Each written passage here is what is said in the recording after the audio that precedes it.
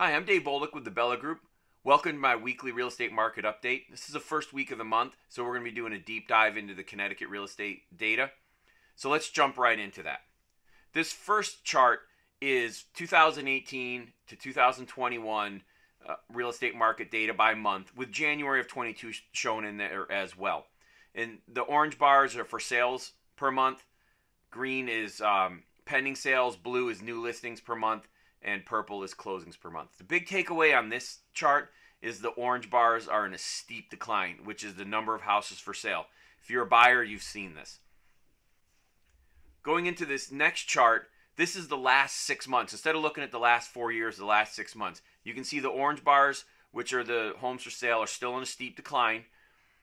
The important point is over the last four months, the purple bars, which are number of houses closed, versus the blue bars, the purple bars are higher. So closings are outstripping new listings. So that's driving part of this reduction in uh, the number of houses available for sale. Sellers, this there's little to no competition for you. This is a great opportunity to get into the market and get a, a high price for your home. If you're interested in selling, now is a great time to reach out to me and, and we'll talk about it. Buyers, a lot of competition. There are ways to succeed, there are ways to win, but you got to have the right person on your team. Give me a call, let's talk about it. So, what's driving this lack of inventory, these orange bars driving down?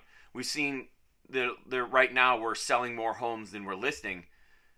But this this um, article is, is interesting. It shows early data shows Connecticut housing production dropped to decade low in 2021. So what they're talking about here is pre 2007, we were building about 9,400 houses a year. In 2019, it was about 5,800. 2020, it was 5,400.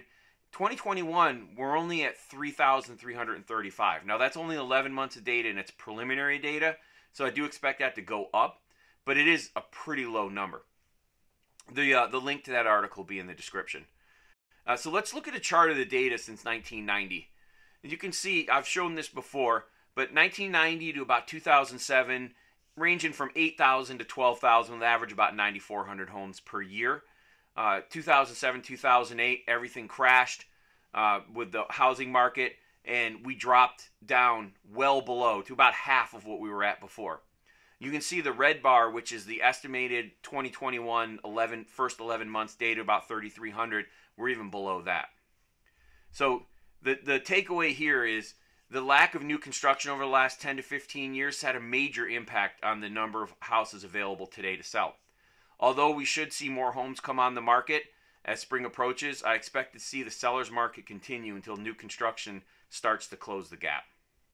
So, the final thing I want to talk about uh, is mortgage rates. So, let's take a look at that. This chart is showing February uh, 3rd, which is yesterday, that Freddie Mac had the mortgage rates as 3.55%. If you look just below it, January 27th was 3.55% as well. So mortgage rates are unchanged week over week. We do expect to see, and, and forecasts are calling for mortgage rates to climb into the high threes, maybe even up to 4% by the end of the year.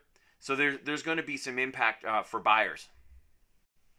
This chart is for reference only. The best way to know what your payment would be based on your financial situation is to talk to a lender. And this is principal and interest only. It doesn't take into account taxes and insurance.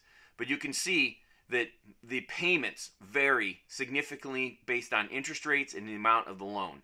I'll have a link to this in the description as well so you can study it and take a look at it a little bit more detail. A couple of points that I want to make on this. The first is that mortgage rates, even though they're going up a little bit, are still at historic lows. If you look in 2018, the mortgage rates were in the 4 to 5% range. If you look over the last 50 years, the average was closer to 7 or 8%. So 3.55% is still a pretty low rate. And I saw this on Facebook today and I'm stealing it. The rent the interest rate for rent is 100%. You're not getting any value beyond being able to live in your apartment when you're paying rent. The landlord is. If you buy a house and you're paying a mortgage every month, every month you're building a little bit of equity. So there's a lot of value in, in that as well. So if you found anything of any interest, please click the like button. Uh, and also, if you'd like to see more content like this as I put out weekly, Uh, subscribe and ring the bell for notifications. Any comments or questions, please put them down in the in the comment section below.